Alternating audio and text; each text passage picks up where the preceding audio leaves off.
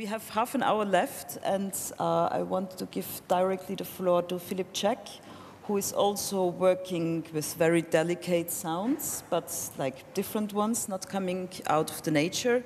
Uh, you will hear in a minute. And uh, Philip Jeck is uh, like really a pioneer of experimental turntablism, uh, doing his work for since the 80s for many, many years. And uh, yeah, we awarded uh, Suite. This was like the release which was handed in. And yeah, we rewarded it because of its extraordinary beauty, which your music in general has, I would say.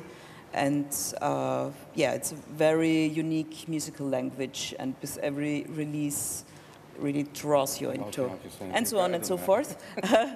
I can't say anything better than that, can I? Thank you. These are, these are my tools. So. Uh-huh.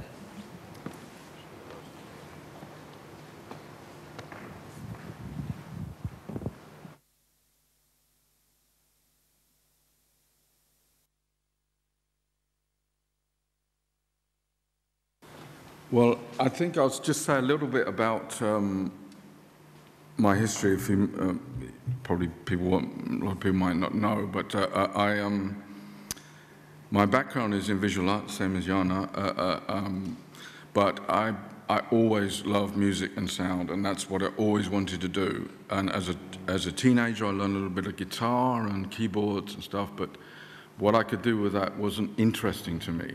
It wasn't, I couldn't create something that you know was good sounding or interesting to me. And if I had a, a little bit of talent, I, I, could draw and paint. So I was I went to art college. And then my, my way into music was through DJing. Uh, um, I went to New York in 1979, stayed with friends uh, there who took me to these incredible clubs.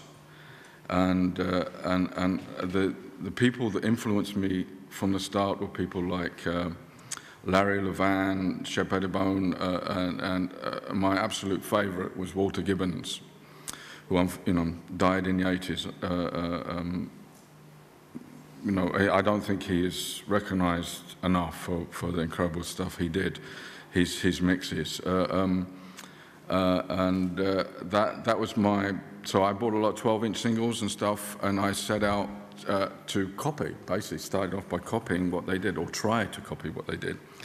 So in the early 80s, in, in I was living in London then, um, used, uh, I actually worked with a friend of mine, we like, were a, um, a, a team, uh, a DJ team, and we called ourselves BBBGs, which was um, the Bouncing Bethnal Green Bambinos, and uh, which is from a from a very famous uh, English comedy film called Passport, Passport to Pimlico. The very beginning of the film, you see a record playing on a record, play, uh, a record playing on an old record player. Uh, and, uh, uh, and, and, and then somebody just says, oh, that, what was that? That's, uh, that's uh, Bethnal Green Bambinos playing Latin um, music. Um, and so we were that for some time. But I quite quickly sort of moved away from that because the, the, the thing that you did, um, that I'm not, I'm not dissing or putting down uh, people that do fantastic dance music and uh, DJing, but I, you know, I started to think, oh, I could maybe bring in all sorts of bits of uh, records and music for this. And of course, you do that, you will clear the dance floor. And, uh, uh, and I realized this is probably not the, the area that I should be in. Uh, you know, I thought what, what was happening was interesting, but it was completely wrong context. And then also at time in London, I met other people, I met improvising musicians, quite early, early electronica people and stuff, and, and that was the world that I shifted to. I still occasionally do, uh, sometimes in Liverpool, for friends and stuff, do a DJ set, because I have a fantastic collection of 70s, early 80s, uh, uh, 12 inches from, from America, which sometimes I'm tempted to sell because I actually did sell one because I got I got two of them and it just went for an unbelievable amount of money. But uh, um, uh, uh, so that was that that was my beginning, and and over the years from those those times I. I my first um, formative years of then working more loosely with records was uh, um, I was very lucky. I, I, um, I worked with several dance companies in, in London. I worked with one particular choreographer. We actually performed here in Linz in 1985, I think. It's the first time I came to Linz.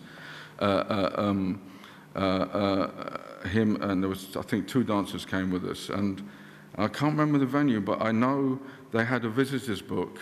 And if, um, if they're still going, if it's still there, I, I actually uh, st stuck a, a record in the visitors' books, which I signed, so it might still be here.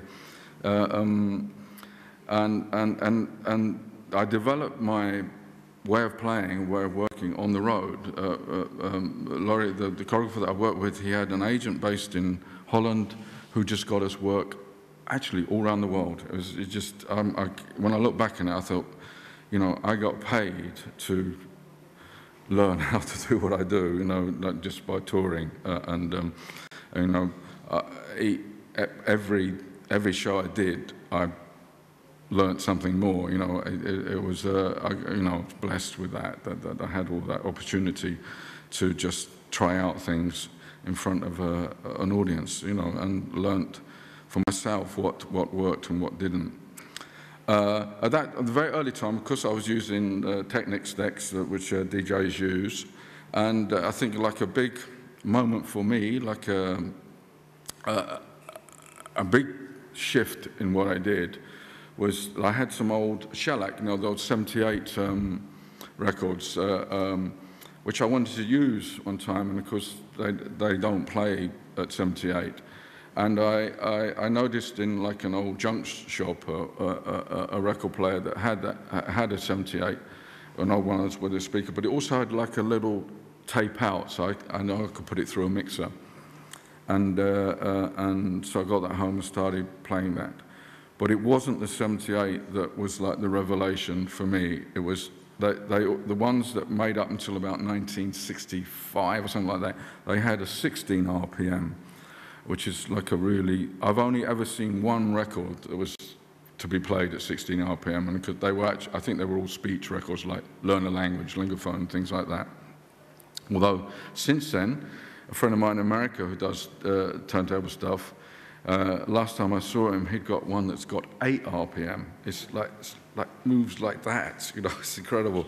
You can get like about 20, you know, it's, it's, it's equivalent to a, to a, a, you know, an MP3 player. You can, on one record, you could probably get your whole collection. It goes that slow, but of course it's very low-fi, uh, um, which MP3s are very low-fi too. But the, uh, um, uh, uh, the so that, that was, so since then, since I bought that, I've, I've pretty well only worked with um, um, the old record players. And, and, the, and Suite, which was actually a live recording, I, I'll show you all the tools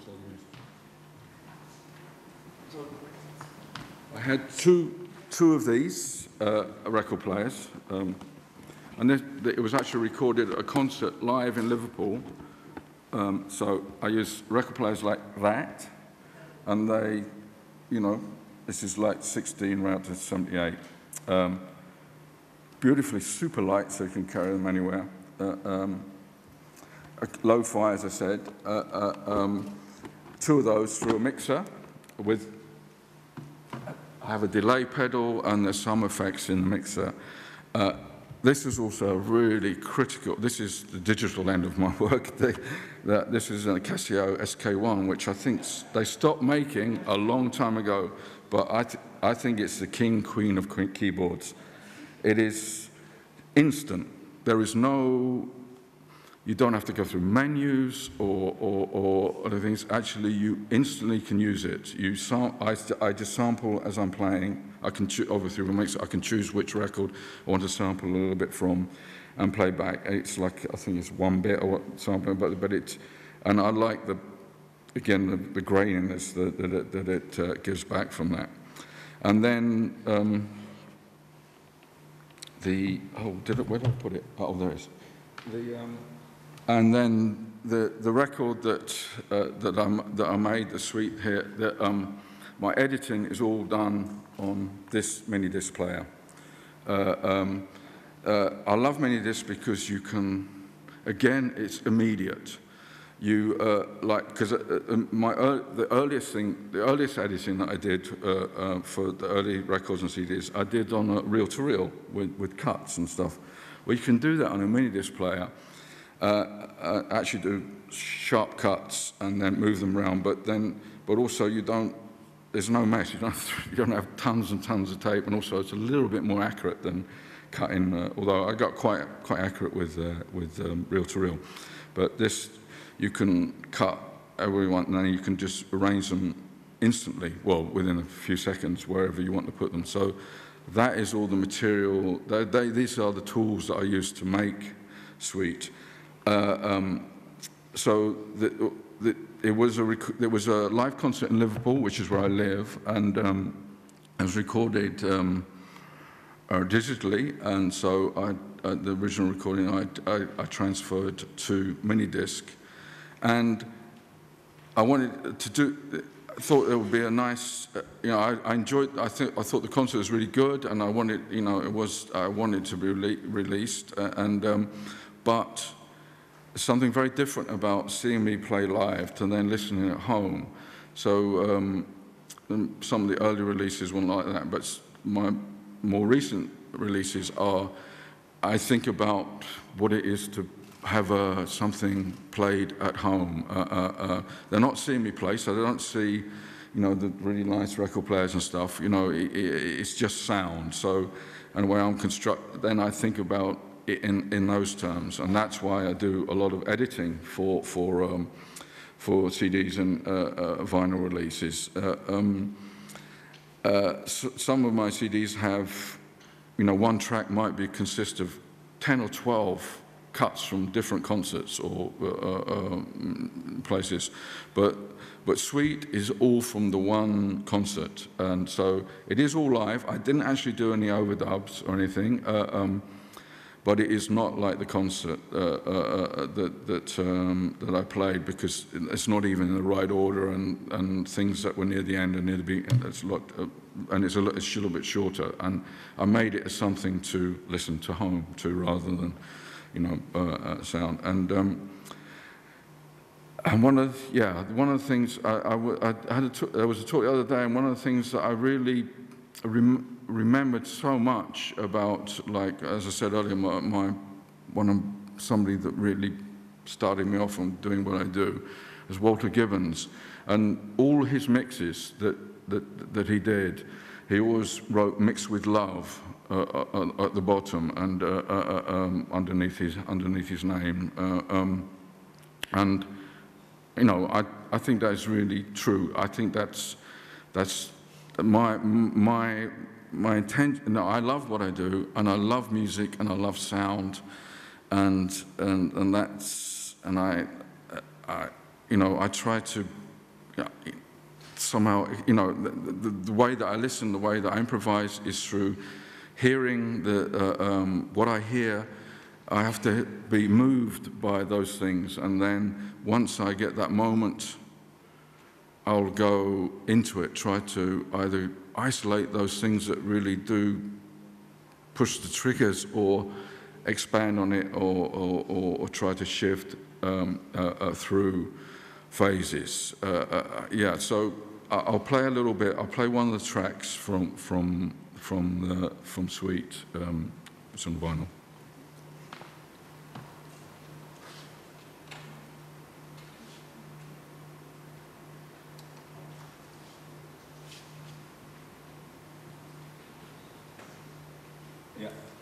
tell you what, this is called Chime Chime, and, and, the reason it's called Chime Chime, it's actually, it's, it's a record, like all the, the records that I use are, are right from all, all ranges of music, you know, in a way like there is almost like the whole history of music and sound is somewhere on some piece of vinyl. And I call this one Chime Chime, it's, a, it, it's it's, re it's reoccurred on several uh, reco recordings of mine. I never get tired of working with this particular record, which is an old country record uh, uh um, uh, with, a, with a, a beautiful steel guitar playing, although you might not recognize it that because it's really slowed down uh, and, uh, and, and, it, and it, to me it sounds like chimes, but it's, it's a record that I always work a lot with.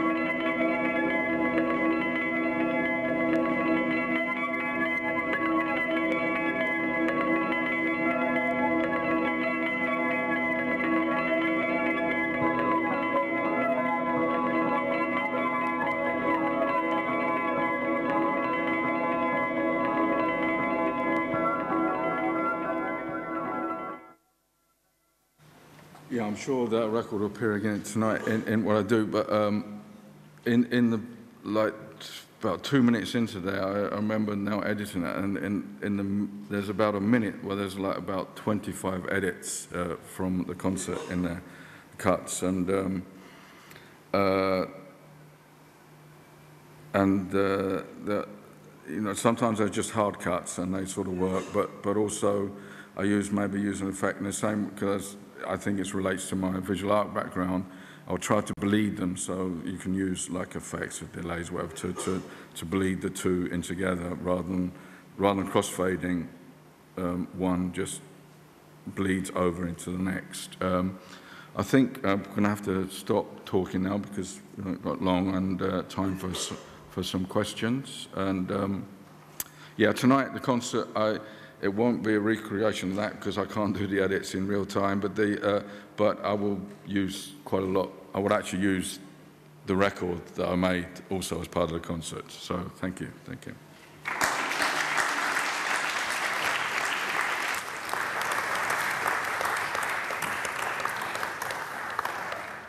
Yeah, uh, many thanks, Philip, for your presentation. There is eight minutes left, but we can have a bit more time, luckily, so there, that there is some time for questions. And I would uh, yeah, directly ask you uh, what you would maybe like to know more, collect a few questions which then can be answered. So who wants to know more about the music of our winners?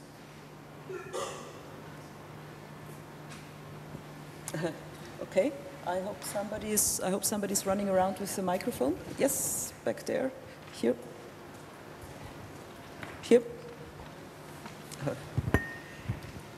Thank you. Um, I had a question for Jana on your recording. Is it, um, is there an ideal place to be um, actually listening to it because I tried it in the car and it doesn't work in the car, but but but at home it's wonderful. But uh, is it um, is it a five one setup or something like that? Uh, good, or or is it just a matter of just immersing yourself right in the middle of it? Yeah, I think uh, you know the car the frequencies of the too many uh, distractions. Uh, yeah, and, and also the you know the sound of the car itself would just kill a lot of the frequencies an ideal position. I think you just have to kind of find it, find that yourself. You know, because uh, by releasing a CD, I'm giving over the the control of how to listen to to you. You know. So uh, in that sense, um, different from an installation where I decide where you should walk or sit or how to listen. You know, this um, this is exactly what you need to kind of experiment on self itself, I think. So, um, uh, though, of course, I like myself to turn off the light, lie down, and, uh, you know, uh, just listen. Im yeah. Immerse yourself in it, basically. Yeah. Okay. yeah. And I, I prefer now to, uh, when I do concerts, to always have the audience around me in the middle, or and then the speakers around instead of this kind of front and standing in front of people. Hmm. Can I ask one more? One quick one? Sure. to uh, Philip. Um, I understand that you have a uh, setup with uh, turntables with multiple uh, arms, arm turntables. Did, did do you? No, I don't. Do you don't have a? I don't. Not multiple arms. No. Do you have a multiple turntable setup or something? I have a lot of turntables. Yeah, I've done I've done concerts with a lot of turntables, but uh, I don't have, uh, I, I don't mo ever modify them that much. I have a friend, Yannick Schaefer, who's done like a triphonic turntable and does yeah. three arms on, on the record player. But uh, no, my, I, I don't really do too much to the, the players uh, uh, uh, uh that I have. Um, yeah, I've done I think that yeah, the the biggest show I did I did with 180 record players, and then but that and that was with sound that was not amplified because the, these these record players had. I've taken the speakers out and stuff because it's less weight to carry, but I can always put them back. But so I had 100 record, 180 record players with the only sound came out of its own speakers, uh, uh, uh, uh its own speaker, uh, like an orchestra record players. Um, um, and that's something I did in the 90s, uh, Vinyl Requiem, which was like a marking of uh, the taking over of uh, the CD department from vinyl department in stores. Because I grew up collecting records, so it was. And I'm- I'm not, I'm you know, I'm not anti CDs or digital at all. I mean, I'm pro it because you know most of my releases are CDs, but. But, uh, but it was such an important thing in my life. I felt that I wanted to mark that change, and I still, and my all my source material pretty well is, is is is vinyl. Uh, um, I'm, I, I still feel I've hardly touched the surface of what can be done. You know. Any more questions?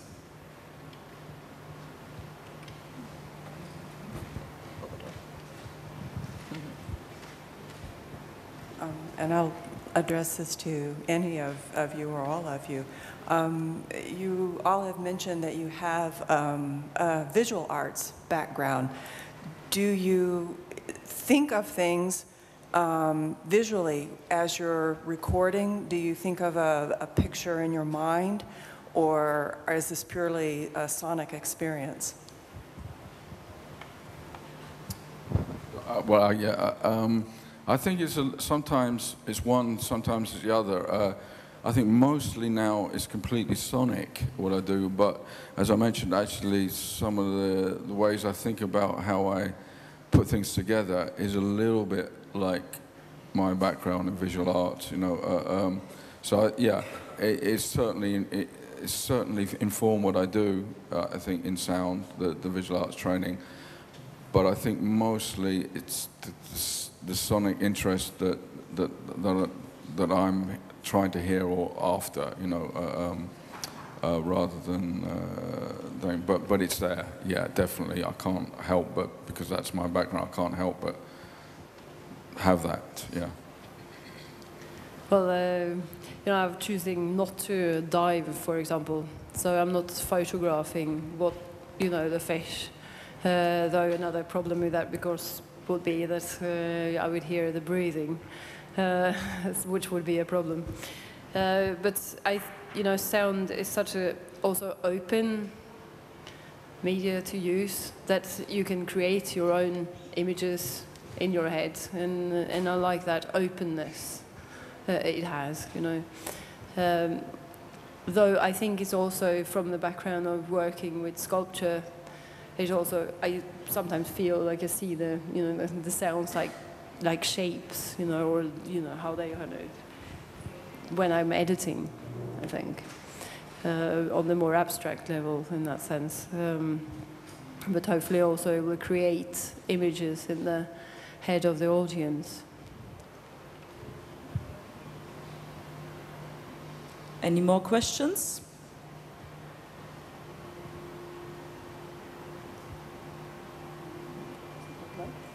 Okay, if some questions come to your mind, there is still possibility maybe to talk later on Sure. after the concerts. Don't miss it, and we even finish in time. Thanks a lot for coming and listening.